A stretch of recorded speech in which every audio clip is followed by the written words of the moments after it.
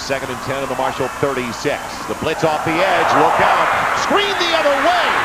Sproles spinning into the secondary. Oh. First down. Will make it? Down the sideline. Oh. First and goal at the three. They picked the wrong side to blitz on. Boy, what a call. It's almost like Bill Snyder was in the headset of the Marshall defensive call of Bill Wilt. Bill 25 seconds left. Schwinn. Not there. Quick snap. And they don't have Spike a it. timeout. spike it. They do not have another timeout. Got to spike it to stop the clock and make a play on third down. They will spike it. Now 10 seconds remaining. So an interesting call with a flag down. I bet they didn't have enough men on the line of scrimmage. And did Marshall line up onside? I'm sure they did. You got to be set for a full second. Will they set for a full ball is not second? blown ready for play. That's a five-yard penalty.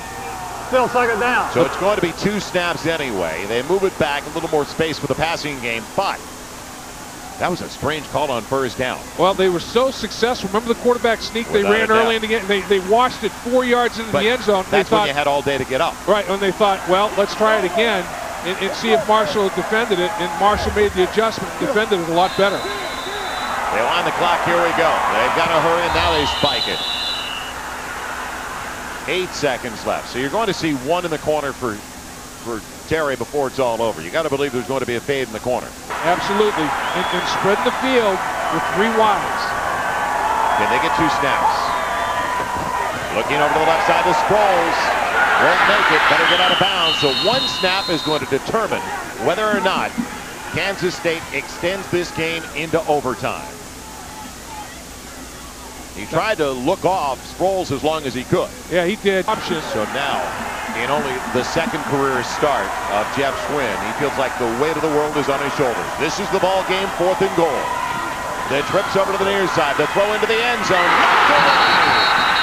Off the fingertips, and Marshall prevails. The upset is complete. Marshall shocked to the number six team in the nation, the Kansas State Wildcats. Off the hands of Davin Davis. And he made a great effort to make a catch on the football. Just could not quite get it done. What a game. A deep underdog. The Thundering Herd of Marshall from the Mid-American Conference. Knock off Kansas State down to Jim Knox. Thank you, Joe. Coach, congratulations. You pulled off the shocker. Take catching your breath on the last play. What a defensive stand.